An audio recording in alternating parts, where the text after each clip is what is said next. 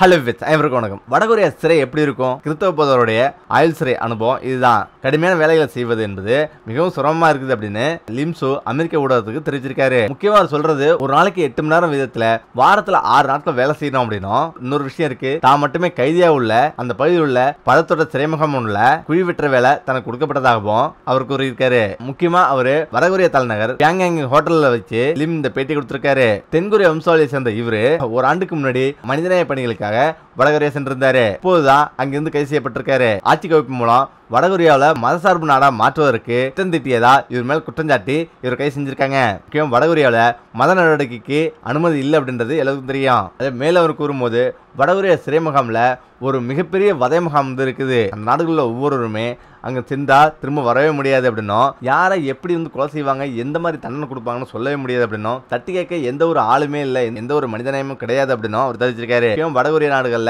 சிறைமுகம்னு பார்த்தீங்கன்னா வெளிநாட்டவருக்கு தனித்தனியாக வந்திருக்கும் உள்நாட்டவருக்கு தனித்தனியாக வந்திருக்குமா? வெளிநாடுகள்லேருந்து வந்தவங்கள தனித்தனியாக வந்து சிறையில் அடைச்சி அவங்களுக்கு ஒரு விதமான பைத்தியம் பிடிக்கிற மாதிரியான மனநல பாதிப்பு ஏற்படுற மாதிரியான சித்திரவதை செய்வாங்களாம். முப்பது அதிகாரியில் தூக்கிலிட்ட கிம் ஜாங்கன் முக்கியமாக பார்த்தீங்கன்னா வடகொரியாவில் மிகப்பெரிய வெள்ளம் வந்து ஏற்பட்டுச்சு. அந்த வெள்ளத்தில் ஆயிரம் பேர் கிட்டத்தட்ட பலியானாங்க. இந்த வெள்ள பாதிப்பை தடுக்கும் விதமாக செயல்படாத அதிகாரிகள் எல்லாமே மரண வச்சதாகவும் அனைவரையும் முப்பது பேரையும் ஒரே நல்ல தூக்கிலிட்டதாகவும் சொல்லப்படுது. சமீபத்திய வெள்ளத்தால் ஏற்பட்ட ஏற்றுக்கொள்ள முடியாத உயிரிழப்புகளுக்கு பொறுப்பானவர்களுக்கு கடுமையான தண்டனை வழங்கப்பட வேணும் அப்படின்னு அழைப்பு விடுச்சாரு. அதிகாரிகள் மீது ஊழல் மற்றும் கடமை தவறியதா குற்றஞ்சாட்டப்பட்டது. இந்த நிலையில் தான் கடந்த மாத இறுதியில் அவங்களுக்கு தூக்கு தண்டனை நிறைவேற்றப்பட்டது. வெள்ளம் பாய்த்த பகுதியில் இருந்த பணியாளர்கள் முப்பது பணியாளர்கள் ஒரே நேரத்தில் தூக்கிலிடப்பட்டாங்க. முக்கியமாக ஜூலை மாதம் வடகொரியால் நிலச்சரிவு மற்றும் வெள்ளப்பெருக்கு ஏற்பட்டது. கடுமையான மழையால் நான்காயிரம் வீடு பாதிக்கப்பட்டது. பதினஞ்சாயிரம் குடும்பம் அங்கிருந்து வெளியேற்றப்பட்டது. இடமாயிருந்தாங்க இதுல இருந்து கிம்ஜாங் நேரடியாக இறங்கி பாதிக்கப்பட்ட பகுதியில் பார்வையிட்டாரு. வெள்ளத்தால் முற்றிலும் அழிந்த இந்த பகுதி மீண்டும் கட்டியெழுப்ப பல மாதங்கள் ஆகலாம் அப்படின்னு அவர் தெரிவிச்சாரு. முக்கியமா தாய்மார்கள் குழந்தைகள் பெரியவர்கள் அப்படின்னு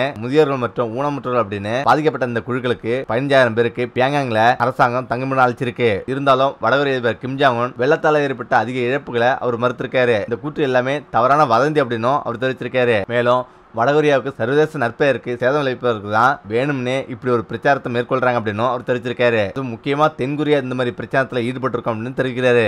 வடகொரியாவுக்கு இவ்வளவு பெரிய சேதம் ஏற்பட்ட பிறகு அங்குள்ள அதிகாரிகள் ஒவ்வொருவருமே உயிரை கையில் பிடிச்சிட்டு இருந்திருக்காங்களாம் அதாவது அவங்க எப்போது தங்களுடைய உயிர் பறி போகும் அப்படின்னு எண்ணிக்கிட்டே இருந்திருக்காங்களாம். இந்த அச்சத்திலே வாழ்ந்து வராங்களாம். கொரியா டைம்ஸோட கூற்றுப்படி தொற்று நோய்க்கு பிறகு வடகொரியால தூக்கு அதிகரிச்சிருக்கு அப்படின்னும் தொற்று நோய்க்கு முன்னாடி ஒரு வருடத்துக்கு பத்து மரண தண்டனை தான் கொடுத்தது அப்படின்னும் ஆனா அந்த எண்ணிக்கை தற்போது நூறா மாறி இருக்கு அப்படின்னும் அது தெரிவிக்குது அதாவது கிட்டத்தட்ட பத்து மடங்கு உயர்ந்திருக்கு அப்படின்னும் தெரிவிக்கிறாங்க.